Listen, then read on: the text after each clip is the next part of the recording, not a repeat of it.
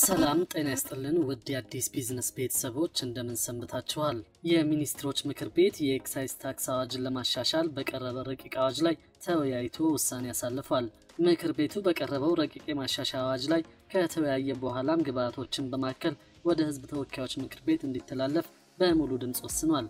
ማሻሻያ ተደርጎ ለሚኒስትሮች ምክር ቤት ቀርቦ የነበረው ረቂቅ የኤክሳይዝ ታክስ የያዛቸው አዳዲስ ጉዳዮች በተሽከርካሪ ላይ ይጣል የነበረው የኤክሳይዝ ታክስ መጠን እንዲቀንስ ያደርጋል።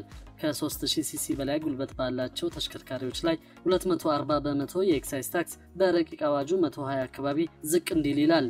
ከ2501 እስከ 3000 ሲሲ 106 በመቶ የኤክሳይዝ ታክስ፣ ከ1501 እስከ 2500 ሲሲ 90 በመቶ የኤክሳይዝ ታክስ ከ1500 ሲሲ በታች 66 በመቶ የኤክሳይዝ ታክስ እንዲጣልባቸው ይላል ረቂቅ አዋጁ። ከዚህ በተጨማሪ ማሻሻያው ቴሌቪዥንና ቪዲዮ ካሜራ ከኤክሳይዝ ታክስ ነፃ እንዲሆኑ ያደርጋል። በሌላ መረጃ ባለሀብቱ በላይነህ ክንዴ በደብረ ብርሃን ከተማ በዓመት አንድ ሺህ የኤሌክትሪክ ተሽከርካሪዎች የሚገጣጠሙበት ፋብሪካ ገንብተው ስራ ሊያስጀምሩ መሆኑ ተገልጿል። የኤሌክትሪክ መኪና መገጣጠሚያ ፋብሪካው ሁለት ቢሊዮን ብር ወጪ የተደረገበት ሲሆን ከሶስት ወር በኋላ ወደ ማምረት ስራ እንደሚገባ የፋብሪካው ባለቤት በላይነህ ክንዴ ተናግረዋል።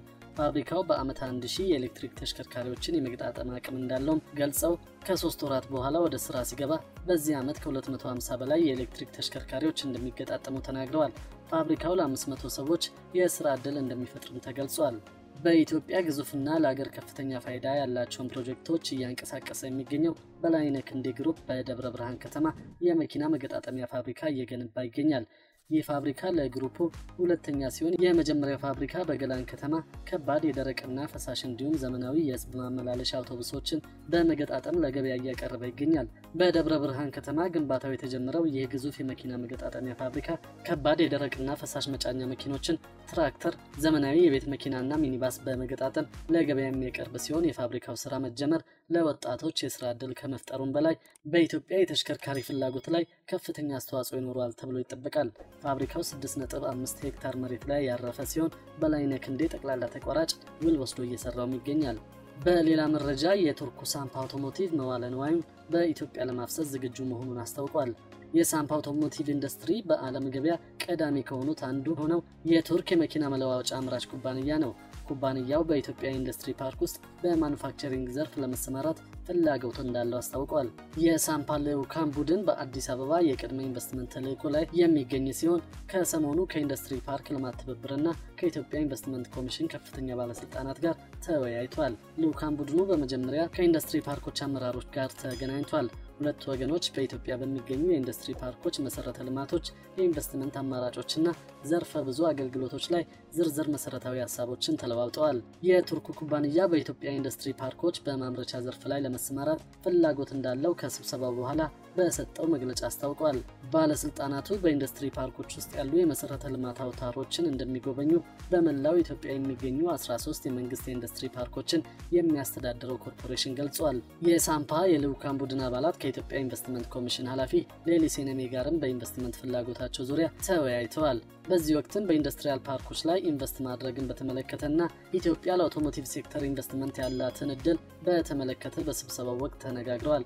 ሌሊሴ ፍላጎታቸውን አድንቀው የወደፊት የኢንቨስትመንት እድሎችን ያፋጥናል ተብሎ በሚጠበቀው ዘርፍ ያለውን ፖሊሲ ጠቁመዋል። የኢትዮጵያ ኢንቨስትመንት ኮሚሽን እንዳስታወቀው ኩባንያው በልዩ የኢኮኖሚ ዞን በመግባት የተለያዩ የአውቶሞቲቭ መለዋወጫዎችን ለማምረት ፈቅዷል። ሳምፓ ለከባድ ተሽከርካሪዎች፣ ተሳቢዎችና አውቶቡሶች መለዋወጫ ያመርታል። ኩባንያው ዋና ዋና ለሚባሉ እንደ መርሴዲስ ቤንዝ፣ ቮልቮ፣ ቢኤምደብሊው ፎርድ፣ ኢቬኮ እና ዳፍን የመሳሰሉ ዓለም አቀፍ የመኪና ብራንዶች መለዋወጫዎችን ያመርታል። ተሽከርካሪ ላይ የታክስ ማሻሻያ ተግባራዊ መደረጉን የገንዘብ ሚኒስቴር ከዚህ ቀደም ገልጾ ነበር። ተሽከርካሪዎች ላይ የሚጣለው የጉምሩክ ታሪፍ ዝቅተኛ እንደሚሆንም ሚኒስቴሩ አስታውቋል።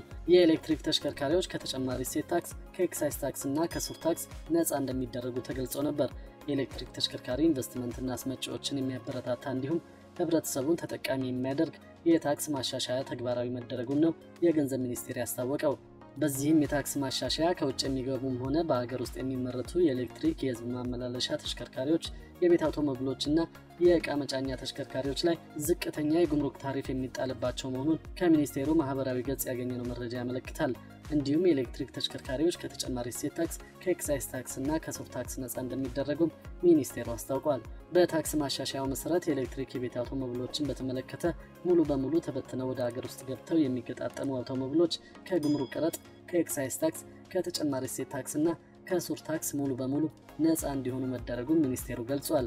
በከፊል ተበትነው ወደ ሀገር ውስጥ ገብተው የሚገጣጠሙ የኤሌክትሪክ የቤት አውቶሞቢሎችን በተመለከተም አምስት በመቶ የጉምሩክ ቀረጥ ብቻ የሚጣልባቸው ሲሆን ከኤክሳይዝ ታክስ ከተጨማሪ እሴት ታክስ እና ከሱር ታክስ ሙሉ በሙሉ ነፃ እንዲሆኑ ተደርጓል።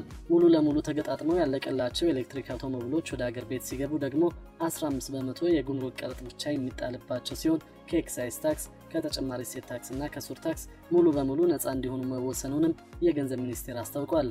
ውድ የአዲስ ቢዝነስ ቤተሰቦች በዛሬው መረጃችን የሚኒስትሮች ምክር ቤት የኤክሳይዝ ታክስ አዋጅን ለማሻሻል በቀረበ ረቂቅ አዋጅ ላይ ተወያይቶ ውሳኔ ማሳለፉን አስታውቀናል። ምክር ቤቱ በቀረበው ረቂቅ ማሻሻያ አዋጅ ላይ ከተወያየ በኋላም ግብአቶችን በማከል ወደ ሕዝብ ተወካዮች ምክር ቤት እንዲተላለፍ በሙሉ ድምፅ ወስኗል።